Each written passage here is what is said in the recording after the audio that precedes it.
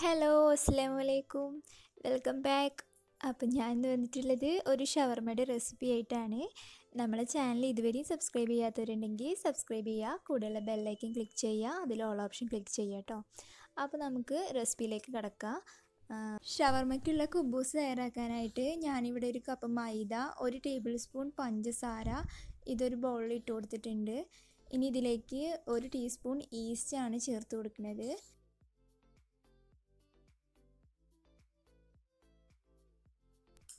മാവ് പൊങ്ങി വരാൻ വേണ്ടിയിട്ടാണ് നമ്മൾ ഈസ്റ്റ് ആഡ് ചെയ്ത് കൊടുക്കുന്നത് കേട്ടോ. ഇനി ആവശ്യത്തിന് ഉപ്പ് പിന്നെ ഒരു ടേബിൾ സ്പൂൺ ഓയിലും ഒഴിച്ച് കൊടുത്ത് നല്ലതുപോലെ മിക്സ് ചെയ്തെടുക്കുക.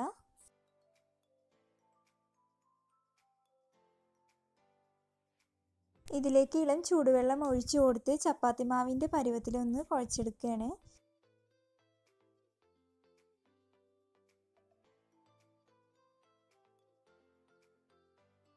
മാവ് നല്ല സോഫ്റ്റ് ആവണം. അപ്പോൾ അതിന് വേണ്ടിയിട്ട് കുറച്ചുകൂടി എളുപ്പത്തിനായിട്ട് കൗണ്ടർ ടോപ്പിൽ കുറച്ച് പൊടി ഇട്ട് കൊടുത്ത് ഞാൻ അത് നല്ലതുപോലെ കുഴച്ചെടുക്കുകയാണ്.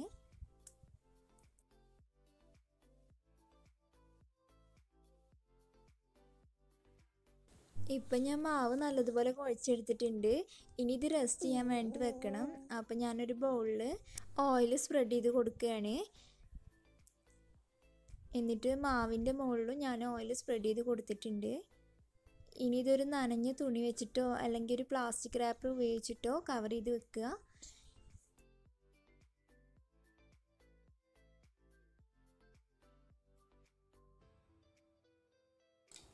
മാവ് പൊങ്ങി വരാനായിട്ട് മാക്സിമം ഇത് രണ്ട് മണിക്കൂറെങ്കിലും റെസ്റ്റ് ചെയ്യാനായിട്ട് വെക്കുക.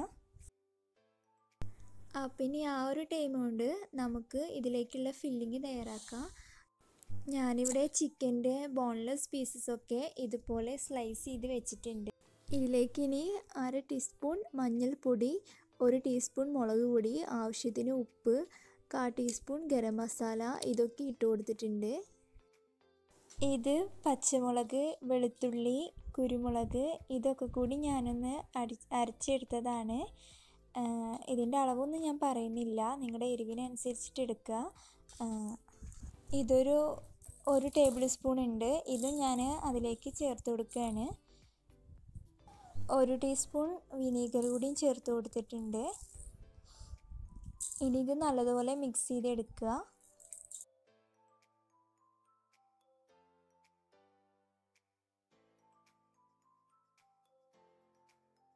ഇതൊരു അരമുക്കാൽ മണിക്കൂറോളം റെസ്റ്റ് ചെയ്യാനായിട്ട് മാറ്റി വയ്ക്കുക. അരമണിക്കൂറിന് ശേഷം ഞാനിത് ഫ്രൈ ചെയ്തെടുക്കുകയാണ്. ഷാലോ ഫ്രൈ ആണ് ചെയ്യുന്നത്. അപ്പോൾ അതിന് വേണ്ടിയിട്ട് ഒരു പാനിൽ ഞാൻ കുറച്ച് ഓയിൽ ഒഴിച്ച് കൊടുത്തിട്ടുണ്ട്. ഇനി ഇത് ഫ്രൈ ചെയ്തെടുക്കുകയാണ്.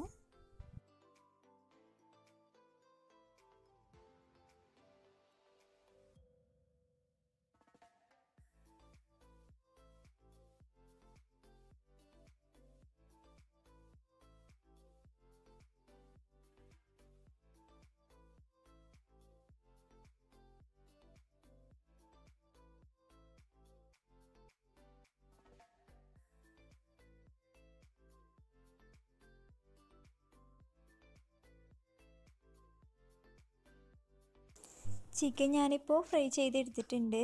ഇനി ഇത് ചെറിയ ചെറിയ പീസായിട്ട് ഇതുപോലെ കട്ട് ചെയ്തെടുത്തിട്ടുണ്ട്. ഇനി ഇതിലേക്ക് ആവശ്യമുള്ള വെജിറ്റബിൾസ് ആണ്. കേബേജ് ക്യാരറ്റ് തക്കാളി സവോള പിന്നെ കുറച്ച് മല്ലിച്ചപ്പ് കൂടി എടുത്തിട്ടുണ്ട്. അപ്പോൾ ഇതൊക്കെ കുറേശ്ശെ എടുത്തിട്ടുള്ളൂ. നിങ്ങൾക്ക് ഇഷ്ടത്തിനനുസരിച്ചിട്ട് എടുക്കുക കുക്കുംബറൊക്കെ ഇഷ്ടമുള്ളവരാണെന്നുണ്ടെങ്കിൽ ഇതുപോലെ ചോപ്പ് ചെയ്തെടുക്കുക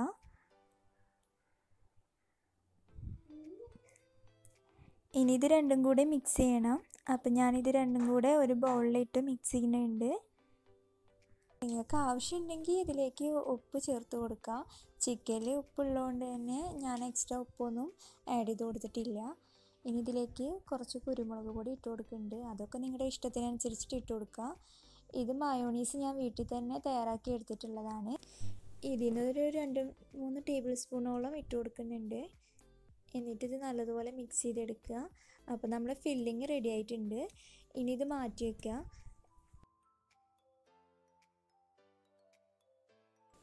രണ്ട് മണിക്കൂർ കഴിഞ്ഞപ്പോഴേക്കും നമ്മുടെ മാവ് അത്യാവശ്യം പൊങ്ങി വന്നിട്ടുണ്ട്.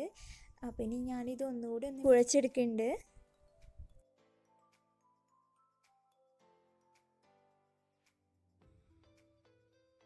ഇനി ഇതൊരു ബോൾസ് ആക്കി എടുത്തിട്ട് പരത്തിയെടുക്കുക. അതല്ലാന്നുണ്ടെങ്കിൽ കോണ്ട ടോപ്പിൽ കുറച്ച് പൊടി ഇട്ട് കൊടുത്തിട്ട് മൊത്തത്തിൽ പരത്തിയെടുക്കുക. എന്നിട്ട് ഇതുപോലെ ഒരു ബൗൾ എന്തെങ്കിലും പാത്രത്തിന്റെ അടപ്പോ എന്തെങ്കിലുമൊക്കെ വെച്ചിട്ട് കട്ട് ചെയ്തെടുക്കുക. ഇത്രയും കട്ടിയിൽ വേണം പരത്തിയെടുക്കാനായിട്ട്. ചപ്പാത്തി പോലെ വളരെ നൈസായിട്ട് പരത്തിയെടുക്കാതിരിക്കുക. അപ്പം ഇനി ഇത് ഞാൻ ചുട്ടെടുക്കുകയാണ്. രണ്ട് പുറം തിരിച്ചും മറിച്ചൊക്കെ ഇട്ടിട്ട് ചുട്ടെടുക്കുക. ഇത് നല്ലപോലെ പൊങ്ങി വരും. ഇനി ചുട്ടെടുത്തിട്ടുള്ള കുബൂസ് ഹാർഡാവാതിരിക്കാനായിട്ട് ഒരു ക്ലോത്തിൽ കവർ ചെയ്തിട്ട് വെക്കുക. അപ്പോൾ കുബൂസും അതിലേക്കുള്ള ഫില്ലിങ്ങും റെഡി ആയിട്ടുണ്ട്. ഇനി ഇത് സെറ്റ് ചെയ്യാനായിട്ട് ഒരു ബട്ടർ പേപ്പറിന്റെ മുകളിലായിട്ട് ഞാനൊരു കുബൂസ് വെച്ച് കൊടുത്തിട്ടുണ്ട്. ഇതിന്റെ മുകളിൽ ഞാൻ കുറച്ച് മയോണീസ് സ്പ്രെഡ് ചെയ്യാണ്. നിങ്ങൾക്ക് വേണമെന്നുണ്ടെങ്കിൽ ടൊമാറ്റോ സോസ് കൂടി സ്പ്രെഡ് ചെയ്ത് കൊടുക്കുക. എന്നിട്ട് ഈ ഫില്ലിങ് സെന്ററിൽ ഇതുപോലെ വെച്ച് കൊടുക്കുക.